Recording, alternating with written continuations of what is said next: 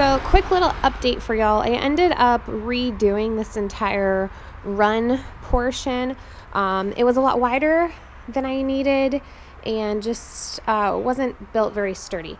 So, I went ahead and cut some of these beams to make it to the width that I wanted.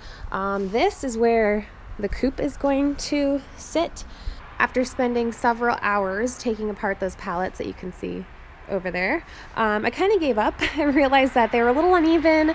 Um, they'd probably be really drafty in the winter. So I ended up going to Toom, a hardware store, and um, I followed a plan online for a coop that I liked and just kind of made it so that it would fit on this part of our um, run here.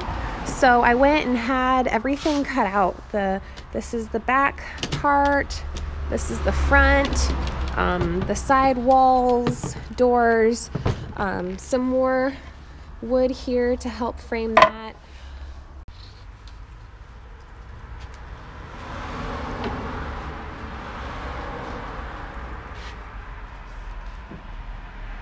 It is now day three that I've been working on this. Yesterday, after I got all of the new wood, um, the sun went down shortly after I got home and was able to get everything planned out. The sun now goes down at five o'clock. Um, soon it'll be more like 4:30, and then uh, about four o'clock. So my daylight is um, I need to put it to good use. Anyways, um, so I've put up this frame here. This is a 101 centimeter. I measured in centimeters because we live in Germany and they follow the metric system, so it was easier for me um, to convert it all at the store. So this comes out to be about three feet here, two feet on this end. I made it two feet tall. The um, roof is going to be triangle shaped, so it will give it about an extra um, half a foot once it's on top of here uh, for the inside of the coop. But anyways, screwed this base in, this here. Um, about to screw this one on, and then I'm going to go ahead and put the side walls on here. Day four, I didn't get a, a ton done today. Um, I decided I should probably go work out since I didn't work out yesterday. Um, and then I had to stop and get some more hardware, more supplies for this. Um, but I did get the door on so far today. I attached that on the corners. And I just recently put the lock on here. Um, but I made one major mistake. The door doesn't open because if you can see there's like a metal piece connecting all of this probably so that you could line it up easily um, when you put it together. But I probably should have like broke that apart first because now I'm pretty sure I'm gonna have to unscrew that and redo it. Live and learn. Um, this is, again, my first project I've ever done. So um, it rained last night. It's been raining the majority of the day. So we put this on top just so that um, this wouldn't get flooded. Um, I got the pieces for the nesting boxes here. I got these cut on an angle like so. Um, so I am going to be putting a board down here at the bottom. Um, these are gonna attach like this. For those of you who do this as a living or as a hobby will probably see that I made a lot of errors. Forgive me. Um, throughout all, all of this, I've realized that power drills are not my best friend. I stripped quite a few nails during this project and messed up both drill bits. Hopefully my husband will forgive me.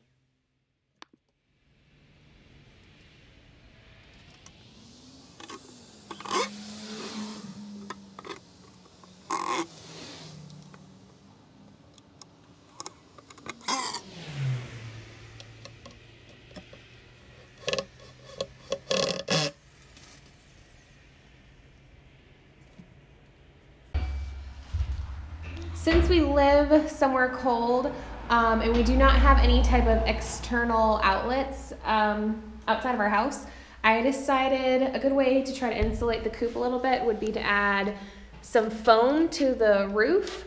So I bought a sheet of foam yesterday at the hardware store. Um, about a half an inch thick. I'm gonna place that in the middle of both parts of the roof here and then cover it with cardboard.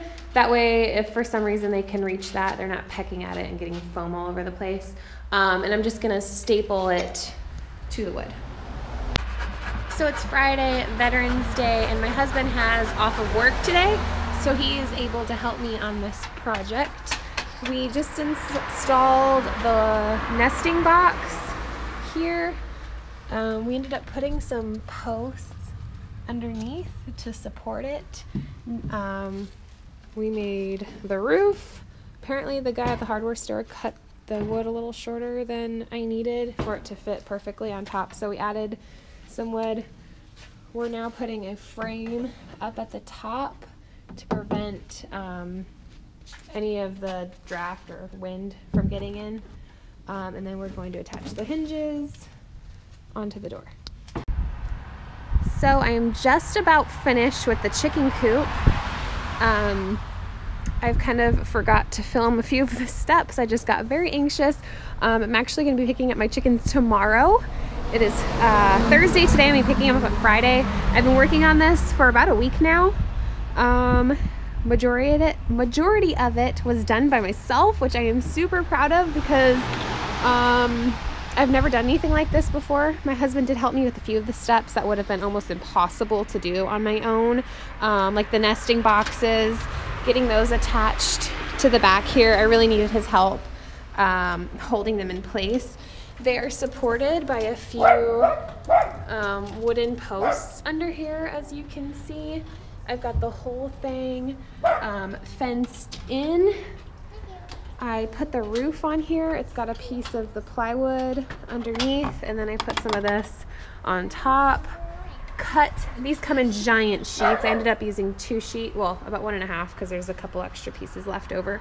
Um, so then I just use a box cutter to make this so that no um, water would get in between there where, where it connected. I added some of it on top of the nesting box here too, just because there was a small gap, as you can see right there. And obviously we don't want water getting in that. So I put this on top of there, screwed it down right there so that it opens. It just kind of folds like so when I open it. This is the inside of the two nesting boxes. These are about uh, 12 inches wide, both of them. Um, from what I've read, you need one nesting box for about three chickens. We're having three, um, and I thought I'd give them two. So, Marley, you want to show me how these doors open? Yes. This door here is to be able to get in and out of the run so that I can get in there and, oh, there you go, now pull. Yeah, it's a little ghetto. so I can get in there and um, clean out their water bowls and their food. I made this ladder out of um, a piece of, there's my cat, out of a piece of pallet wood and then just some scrap wood I screwed in there.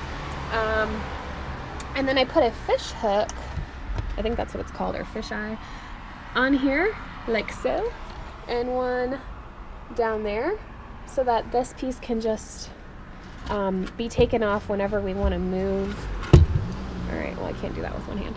Whenever we want to move the uh, chicken coop and run, that can just be detached. Marley, want to show them how the door opens? Yes. So carefully, you're going to pull onto that string, which opens the chicken coop door. Um, There's a blanket. There's a blanket in there because it got wet, so I'm trying to dry that out. Um, and then I'm going to end up putting a little clip on here so that when the door is open, it can stay open and I'll just have it, the um, clip down here, clip on another one of these little fish hooks. I found this idea on YouTube actually. Automatic chicken doors are super expensive, um, around a hundred bucks. So um, just kind of made this there, and then there's another one up there that it connects to.